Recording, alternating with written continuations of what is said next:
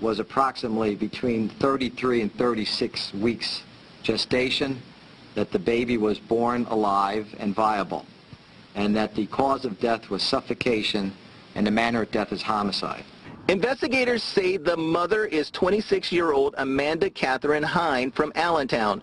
The booth Hein was sitting in had brown stains in it that looked like blood, according to investigators. Police called the person who rented the booth. The affidavit of probable cause says Luis Rivera told police that Hein complained about being in pain and then excused herself to the bathroom. Her friend said she was gone a long time and didn't answer text messages when they began to worry. At some point uh, after the expiration of approximately 40 minutes, Hein returned to the table, retrieved her purse, and went outside for a smoke.